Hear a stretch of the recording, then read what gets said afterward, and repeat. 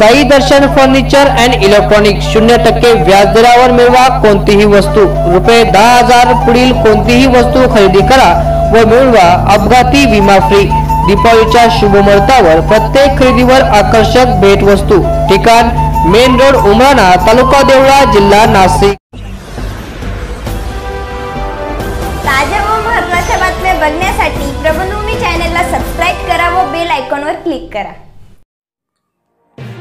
सटाणा शहर परिसरातील दोधेश्वर नाका व ग्रामीण भागातील तिळवण येथे भारतीय मानवाधिकार परिषदेच्या शाखांचे फलक अनावरण परिषदेचे राष्ट्रीय अध्यक्ष हाजी शेख यांच्या हस्ते तर राष्ट्रीय कार्यकारी अध्यक्ष शरद केदारे राष्ट्रीय कार्यकारी अध्यक्ष संतोष भाऊ धात्रक राष्ट्रीय कार्यकारी अध्यक्ष डॉक्टर योगेश चौधरी पश्चिम भारत कार्यकारी अध्यक्ष भाऊसाहेब देसले पश्चिम महाराष्ट्र उपाध्यक्ष वसंतराव बगडाने महाराष्ट्र प्रदेशाध्यक्ष वाल्मिक भाऊ केदारी मार्गदर्शक अरविंद सोनवणे शिवसेना उपजिल्हा प्रमुख लालचंद सोनवणे उत्तर महाराष्ट्र अध्यक्ष विलास बापू दंडगवाळ नाशिक ग्रामीण जिल्हाध्यक्ष दिलीप आहिरे यांच्या प्रमुख उपस्थितीमध्ये संपन्न झाले.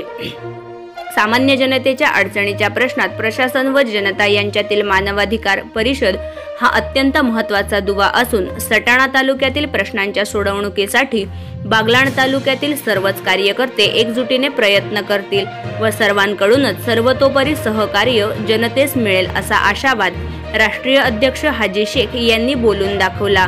यावेळी सटाणा पोलीस स्टेशनचे उपनिरीक्षक राहुल गवई यांचा कोरोना योद्धा म्हणून सन्मानपत्र व पुष्पगुच्छ देऊन सन्मान देखील करण्यात आला. यावेळी बागलाण तालुका अध्यक्ष मंगेश भामरे पब्लिक सर्वंट तालुकाध्यक्ष रवींद्र बगडाणे पब्लिक अवेअरनेस तालुकाध्यक्ष निलेश पाटील देवळा तालुक्यातील वाखारी येथील मानवाधिकार परिषदेचे कार्यकर्ते तिळवण येथील अशोक काका गुंजाळ तुळशीराम गुंजाळ सूर्यवंशी सर पोपट आहिरे त्याचप्रमाणे बागलाण तालुक्यातील कार्यकर्ते हे मोठ्या संख्येने उपस्थित होते. प्रबंधभूमी महाराष्ट्र न्यूजसाठी हिरालाल बाविस्कर सटाण. त्या ठिकाणी त्या ठिकाणी आपला अन्यायाच्या विरोधात आवाज उठवणं आपलं एक आद्य कर्तव्य म्हणून मानवाधिकार परिषदेचं कामकाज चालू आहे. आणि मान मानवाधिकार परिषदेचं कामकाज ज्याप्रमाणे शहरी भागात चालू आहे त्याचप्रमाणे ग्रामीण भागात पण चालावं त्याच्या शाखा ठिकठिकाणी ओपन व्हावं असं दिलीप बहुचं पण एक अ, मनाशी स्वप्न होतं. ते पण आज ग्रामीण भागात महाराष्ट्रातली पहिली शाखा ओपन झालेली आहे. त्या दृष्टीने सगळीकडे आम्ही राष्ट्रीय अध्यक्षांना शरद भाऊंनी नावे सांगितलं.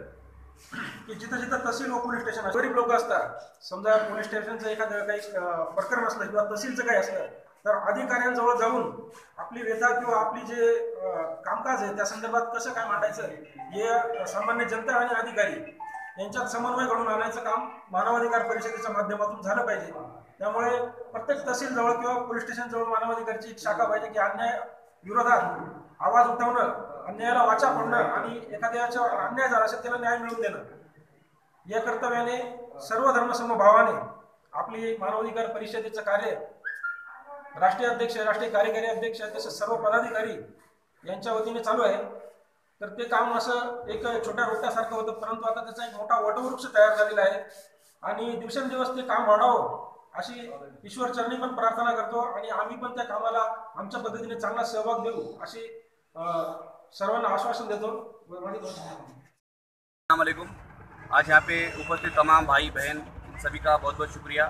हमारे बड़े भाई शरद भाई संतोष भाई शेरू देसले साहब संदीप केदारे जी और उनकी पूरी टीम ने सबका नाम थोड़ा सा लेने में समय कम है इनके आगे बहुत सारे कार्यक्रम हैं। और मुझे रात में ग्यारह बजे दिल्ली निकलना है इसलिए।